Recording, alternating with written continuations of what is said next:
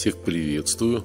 Продолжаем знакомиться с персонажами античного мира по книге Бетти Редис «Кто есть кто в античном мире», дополняя данными из Википедии и из интернета.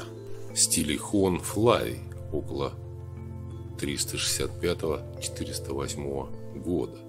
Полководец, возглавлявший войско римского императора Феодосия. Стилихон был романизированным вандалом, сделавшим карьеру на римской службе.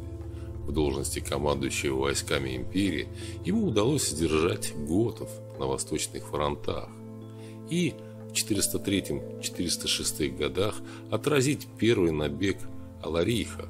Он также предотвратил узурпацию Африки, однако не смог воспрепятствовать вторжению в Галлию вандалов, аланов и свеев.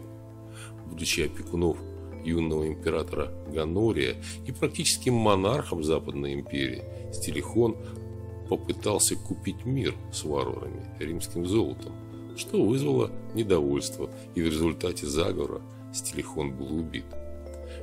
После его смерти Аларих снова вторгся в Италию и в 410 году разрушил Рим. Оценки правления Стилихона разнятся. Так, Джером, с чьим именем в данном случае согласен Гиббон, называл Стилихона варваром, предателем, вооружившим наших врагов за наш же счет.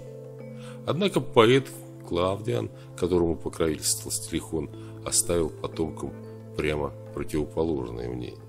Ну, так вкратце о Стилихоне Флавии, полководце, который возглавлял войско римского императора Феодосия. Пока-пока, до свидания.